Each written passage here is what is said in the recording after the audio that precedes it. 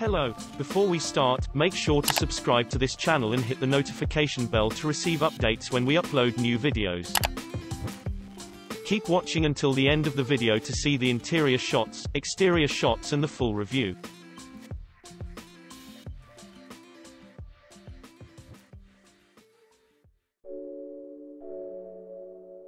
Twenty twenty Porsche Taycan debuts as an all-electric super sedan.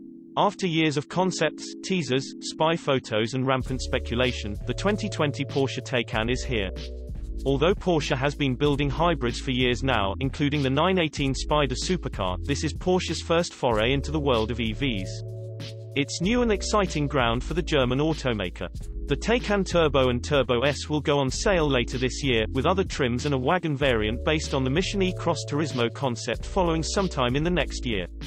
Yes, despite containing no internal combustion engine to attach a turbocharger, Porsche is using the Turbo and Turbo S names for the Taycan. Porsche says it's using the names so customers can equate it to top-level trims on its other vehicles. In terms of size, the Taycan slots below the Panamera and is roughly the same size as a BMW 5 Series, Mercedes-Benz E-Class or Tesla Model S. The design is nearly identical to the Mission E concept we saw a few years back. It's handsome and purposeful and distinctly Porsche. Don't worry, those fake exhaust tips on all the prototypes were just there for show. Both Taycan models are fully electric, sending power to both axles courtesy of a pair of permanently excited synchronous electric motors. These are expensive to use, but Porsche says the benefits, a compact design, good power density and good heat management, outweigh the increased cost. The front axle uses a single-speed gear set with an 8 to 1 ratio. The rear axle uses a two-speed transmission, an unusual trait for modern EVs. First gear is used for acceleration. The Taycan shifts around 62 miles per hour, and top speed for both models is 162 miles per hour. The Turbo and Turbo S both make 616 horsepower. Using an overboost function, the Taycan can make up to 670 horsepower, while the Turbo S sends up to 750 horsepower to the wheels. Peak torque is 626 and 774 pound-feet respectively. The torque split is fully variable between the two axles. The Taycan hits 60 miles per hour in 3.0 seconds in the Turbo and 2.6 in the Turbo S. Note that those are both slower than Tesla's numbers for the Model S. The phrase Porsche kept repeating was repeatable performance, making the point that these cars focused on all-around performance rather than straight-line acceleration. That said, the Turbo does the quarter mile in 11.1 seconds.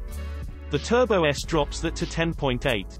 Porsche cites a range for the Taycan of 450 kilometers 280 miles, though no official EPA test number is available yet. Like most pure EVs, the Taycan's lithium-ion battery pack is mounted on the floor in a skateboard setup.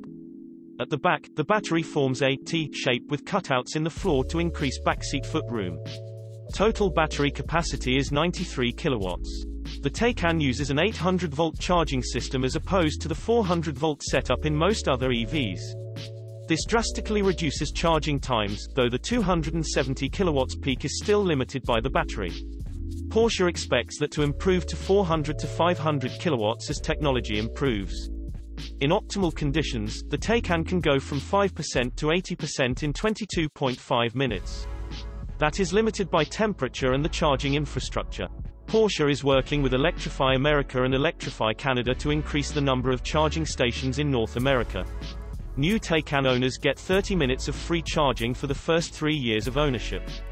The limit was put in place to keep people from blocking chargers.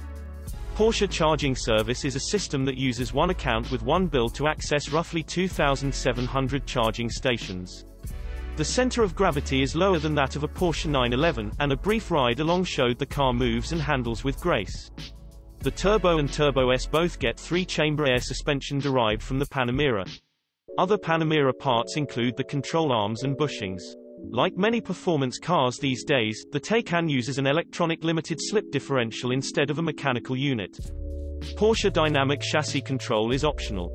The system helps reduce body roll, oversteer and understeer. The brakes are equally impressive.